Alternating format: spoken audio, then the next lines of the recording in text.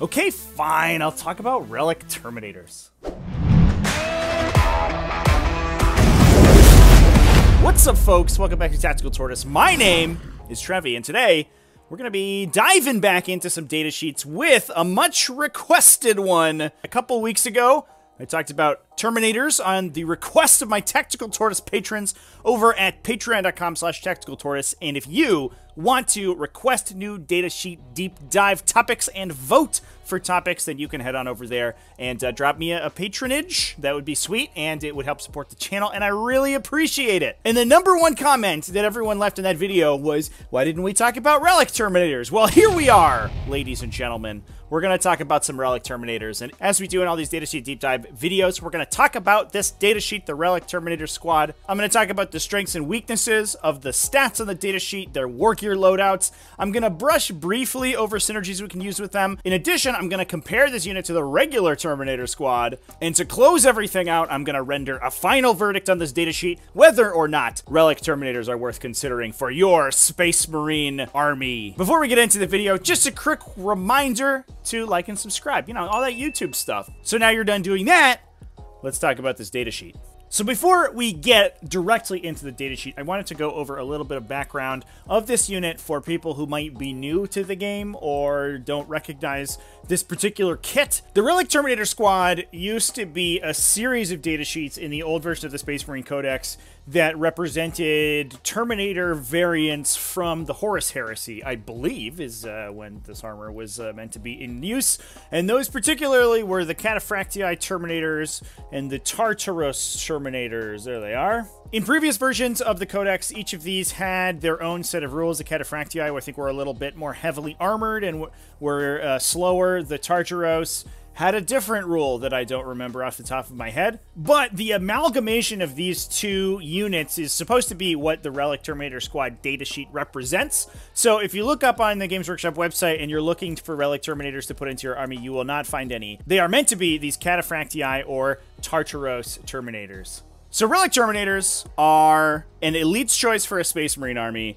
And the first thing to notice about them is that they're they're just regular Terminators. Just like a normal Terminator squad, we get nine... Uh, we get between 4 and 9 Terminators, plus a Sergeant, Move 5, 3 plus weapon skill, and ballistic skill, just like every other Space Marine. Strength 4, Toughness 4. We get the 3 wounds, as is to be expected of a Terminator, as well as 2 attacks, 8 or 9 leadership, depending on if you're the Sergeant or not, at a 2 plus save. They also have the Angels of Death Combat Squad's Teleport Strike, Crux Terminatus rules, as well as Deathwing and Wolfguard if you take them in those particular chapters. It's just a regular Terminator squad, ladies and gentlemen. None of their stats are different. A couple things are different, however. The first one, and the most important, I think, being their points cost. Unlike a normal Terminator squad that comes out at 38 points a model, the Relic Terminators start at 34. Now, they do have a couple upgrades baked in, First off, they have a Power Fist, and unlike the standard Shooty Terminator squad, they do have to pay for their Power Fists. The Power Fists are 5 points, so we're really looking at 39 points a model, which is, in fact, one more point per model than a standard Terminator squad. But you do have to realize that the Terminator Sergeant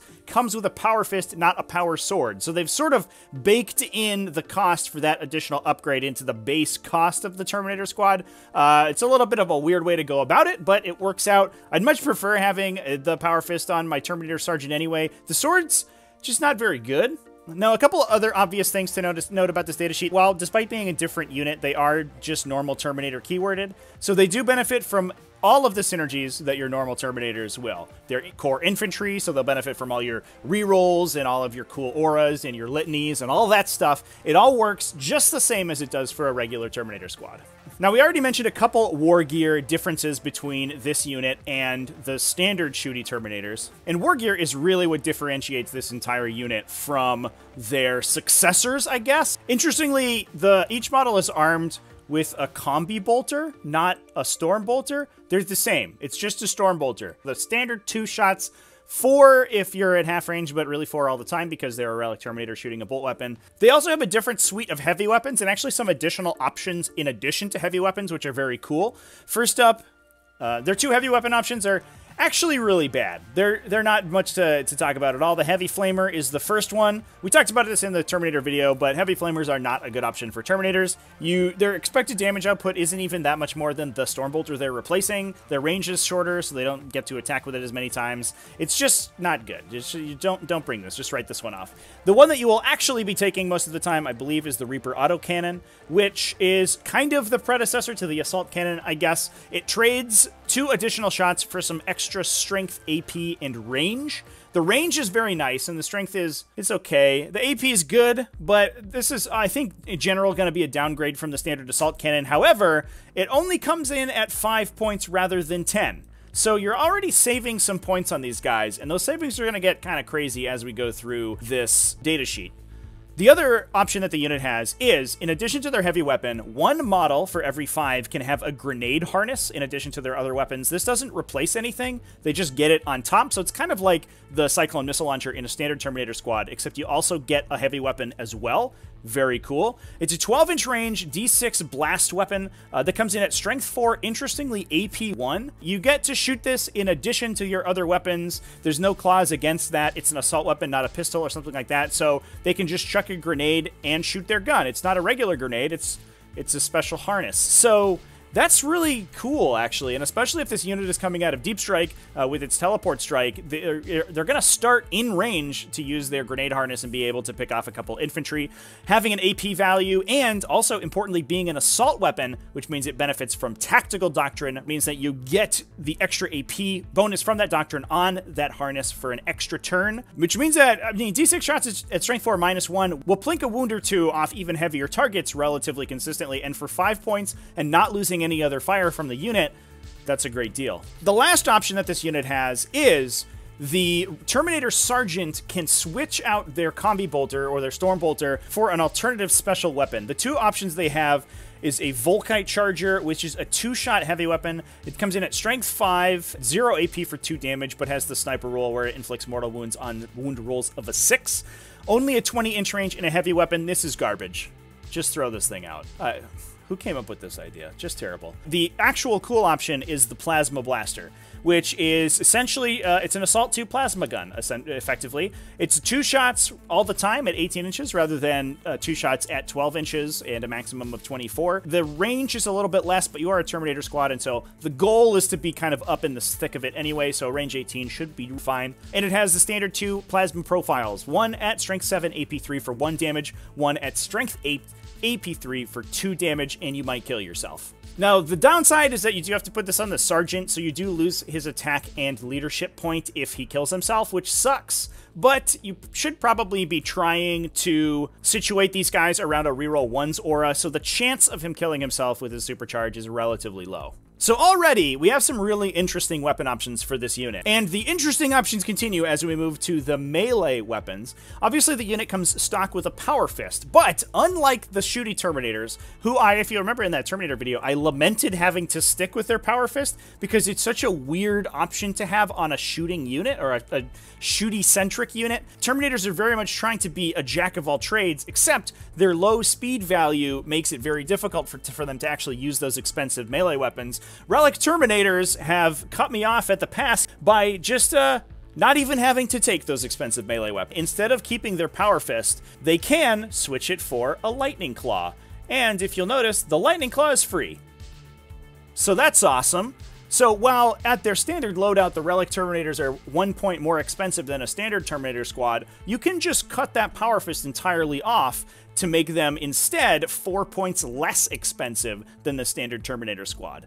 And in addition, their heavy weapons are way less expensive than the standard Terminators, who you're usually either going to pay 10 points for an assault cannon on or 25 for a Cyclone missile launcher. Like, wow, they really knew how to build them for cheap, you know, back in the Horus Heresy. Lightning Claws are obviously a pretty interesting stat line. They come in a base strength of 4, just strength user, AP2 for 1 damage. However, each Lightning Claw you have equipped with gives you an additional attack with it. So for these guys, you could potentially drop both their Stormbolter and their Power Fist for 2 Lightning Claws, and you're going to be swinging 4 base attacks, 5 on the charge, and rerolling all of your wound rolls. Now, honestly, I don't think that I recommend you do this. I think the Lightning Claw build of Terminators is much more effective in the Assault Terminator squad, where you can have Storm Shields baked into the squad so that they're a little bit more survivable. The Lightning Claws are just going to be slow. They don't have any shooting when they're going up the table if you take all Lightning Claws, and they're just not doing anything to your opponent. I don't think that's particularly viable. But if you want to focus entirely on shooting, you can make the unit pretty efficient by dropping off that expensive Power Fist.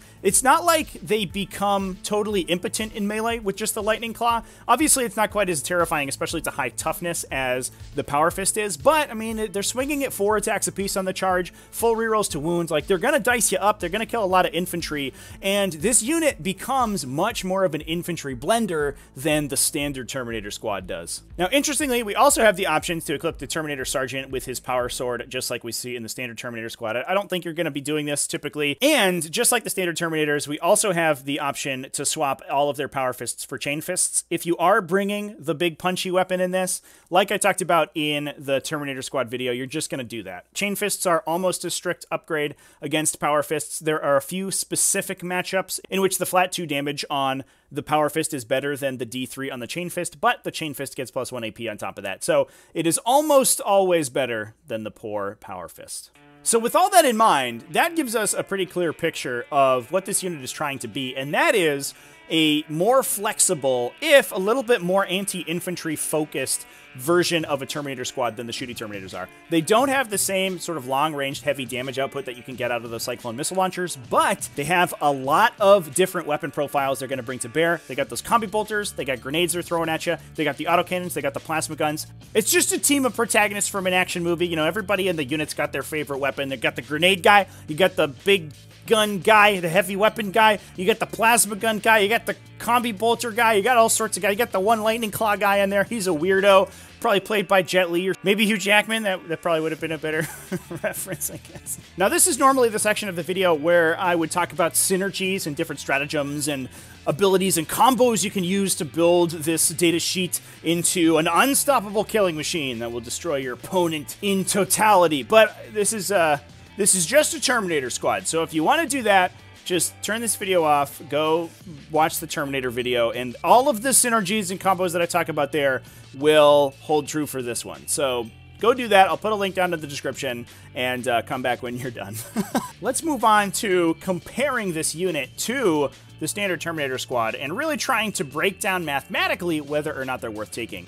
So what I did was I compared the two unit loadouts with, I think, what is essentially an optimal loadout. A unit of five standard Terminators with a Cyclone missile launcher, their five Storm Bolters, coming in at 215 points versus a unit of five fully loaded Relic Terminators. I knocked their Power Fists off down to Lightning Claws just to get the most efficient shooting build we could out of them but packed them full of special weapons. We got the Plasma Blaster in there. We got the Reaper Autocannon in there. We got the Grenade Harness in there. We got three Combi Bolters ready to go. And I pitted them against some of the game's most common defensive stat lines, those being Guardsman equivalents at toughness 3, 5 plus save with 1 wound, Marine equivalents at toughness 4 with a 3 plus save and 2 wounds, Vehicle equivalents, which are toughness 7, 3 plus save, and we're just counting the, the amount of damage we can do there, not necessarily kills, and last but certainly not least, Knight equivalents coming in at toughness 8 with a 3 plus armor save, 5 plus invulnerable save, and we're going to see which version is the most efficient. Now, a couple other things I should note here. I did count these units as moving. That doesn't matter for their bolter weapons or their assault weapons. However, it does for the heavy weapons. Those are all going to be minus one to hit in this particular case. That's because, I mean, they're probably deep striking in or at least moving out of cover to get range with those weapons. So I think those would be the most common battlefield conditions for them. And because they're probably coming out of Deep Strike and most of the fighting in 40k gets done on round 2 and 3, I assumed that they were in Tactical Doctrine, so all their assault and rapid fire weapons would get plus 1 AP, but their heavy weapons would not be affected. I also didn't include any additional buffs on them. Obviously, you can get reroll 1s on these guys with a million different ways. You can get plus 1 to hit on them from Fury of the First. There's a bunch of different things to do. Now, in the first category versus Guardsman equivalents, the Cyclone Missile Launcher build actually came up a little bit ahead. I did give all the blast weapons a little bit of bump in their attack count because of the blast keyword. So those grenade harnesses and the Cyclone Missile Launchers are going to do a little bit more, and we do see that come through here a little bit with a higher number of expected kills coming out of the standard Terminator unit. However, the Relic Terminators being able to leave their Power Fists at home, meaning the unit is a full 30 points less expensive than the standard Terminator unit. That's including the fact that there's a 25 point cycle missile launcher on those guys. So even though they do less damage per model than the Cyclone missile launcher equipped standard Terminators do, the Relic Terminators are actually pretty significantly more points efficient when it comes to killing these little infantry. And they're going to be do better in melee as well because they're probably going to have those lightning claws over the power fists. Versus marine equivalents, things start heading solidly in the relic terminator's direction. Where appropriate, I had the plasma blaster overcharge, and this is a situation where you're probably going to be overcharging versus those two wound marines. And having that flat two damage weapon uh, just chipping away at those guys with a very high AP, with the uh, under tactical doctrine, it comes in at AP 4, so it just punches directly through their armor save. Uh, they actually uh, outdamage and outperform the standard Terminators with almost three Marine equivalent models killed uh, at a 65.3 points per kill. Versus vehicle equivalents, the trend continues with the Relic Terminators significantly outdamaging the standard Terminators. And this is where the kind of volume of attacks we see from these the Reaper autocannon as well as the grenade harness starts to sort of be able to whittle down these larger targets. And while they're not quite as effective against the Knight equivalent units, they are still light years more efficient uh, than the standard Cycle Missile Launcher Terminators in that category as well. So, whoa! Relic Terminators are way better at shooting for way less points than the standard Terminator unit. I'm going to be perfectly honest with you. I did not really expect this result when I first looked at their datasheet. I was like, all right, there's they're Terminators with extra steps. That's cool. But it turns out the breadth of weapon options they have makes them good in a variety of situations while they're shooting. Now, that said, having the Strength 8 weapons in the standard Terminator squad is very useful. But that said, I mean, these Relic Terminators are just are essentially going to outdamage them and outperform them in almost every way in the shooting phase. You do start to pay the price on this unit if you do equip the Power Fists on them, so they are going to significantly underperform against heavily armored targets in melee, but that doesn't happen that often. Terminators have always been an anti-chaff unit. They want to hit a horde of orc boys and shoot them 40 times and then charge them and get stuck in and just grind them down on their 2 plus armor saves. And it feels to me like Relic Terminators, that's exactly what they want to do. What they don't do is supersede Assault Terminators. I don't think that these Lightning Claw builds on the Relic Terminators are particularly viable. They are not as defensively oriented as Assault Terminators. They don't have the same, you know, level of options. And one thing I don't think I mentioned is that neither of these units have is that this unit also does not have access to a teleport homer like the standard Terminator squads do. So once they're down on the table, they're stuck there and they can never redeploy ever again, which is a little bit of a downside compared to those other Terminator units. So we're kind of in a final verdict territory here, so let's move on and talk about the final verdict of Relic Terminators. Should you put them in your army? And the answer is yeah. I mean, I think it's pretty clear that a Relic Terminator squad is both more efficient and outshoots a standard Terminator squad in most situations. Great. Job done. We figured it out. Now, obviously, what they don't do, like I mentioned before, they don't overshadow Assault Terminators. They're not going to be as good in melee. Bespoke Terminator units, things like Deathwing Terminators and Deathwing Bodyguards and Deathwing Knights and Wolfguard Terminators and all of these weird Terminator variants that each individual chapter has, these do not really hold a candle to those. Those are head and shoulders above the standard Terminator squads, and they're going to be the same for the Relic Terminators. That's a little bit of a downside of having the Relic Terminators be like their own separate kind of weird data sheet that exists in its own little universe separate from all the other Terminators. But if you are thinking of running a standard Terminator squad and the main goal of it is to shoot at people with guns, it should probably be a Relic Terminator squad. If you're not really expecting it to get into melee, and especially if you want it to kill kind of hordes of infantry, Relic Terminators are going to be sick at it. Especially with effects like Catechism of Fire or Crucible of Battle that add plus one to wound on them, because they have such a wide volume of attacks, the plus one to wound is just going to make them that much better. You know, you're coming in with a unit of these 10 Terminators, they're going to have two Reaper autocannons, they're going to have two grenade harnesses, they're going to have seven Storm Bolters to shoot. It's just a withering volume of shots to put down on something. And any damage buffs you can get on those high volume attacks are gonna pay you back in full. So all in all, this has been a pretty interesting datasheet deep dive. I definitely wasn't expecting this result when I first looked at Relic Terminator squads, but man, do they look impressive now that I've taken a look at them. Now, in fairness, Terminators in general and even Relic Terminators aren't particularly efficient. They pay a lot of points for that 2 plus save and that additional wound, getting up to 3 wounds.